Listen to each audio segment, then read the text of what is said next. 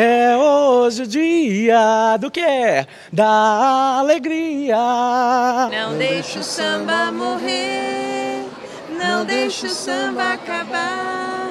Deixa a vida me levar, vida leva eu. Deixa a vida me levar, vida leva eu. Levanta, sacode a poeira e dá volta por cima. Não posso ficar nem mais um minuto com você. Por mais de 40 mil pessoas em apresentações lotadas por todo o país, Sambrá, o musical, está de volta a São Paulo para uma curta temporada. Na noite da reestreia, Gustavo Gasparani, autor, diretor e também ator da superprodução, contou ao vírgula como foi o desafio de recontar a história de um dos gêneros musicais favoritos dos brasileiros em apenas duas horas e meia de apresentação. Eu tinha que escolher um norte para não, não querer botar tudo.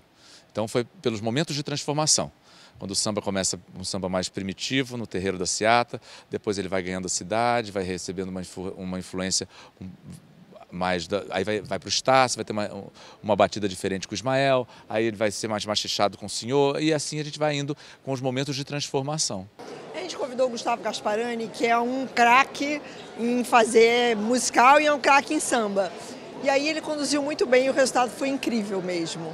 Para a gente é um orgulho e o Sambral, o espetáculo é delicioso, artisticamente ele é muito bem construído, mas o projeto foi bem pensado e para a aventura falar de samba é falar de Brasil.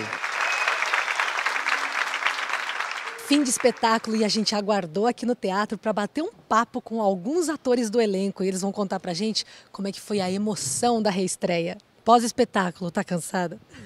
Ainda não, ainda estou no frenesi do espetáculo. Daqui a meia hora eu vou ficar cansada. Estava nervoso, mas foi ótimo e me emocionei em alguns momentos no Roda Viva. E acho que o espetáculo ele comunica muito com o público e as pessoas se emocionam no final cantando Não Deixa o Samba Morrer. A mulher estava aos prantos aqui. Como se eu estivesse vendo um, um livro que leram para mim a vida inteira é, é, se materializando, sabe? Virando um espetáculo, virando. Eu fiquei muito emocionada no processo. Como um pássaro cantor, quando vem no entardecer, acho que nem é morrer.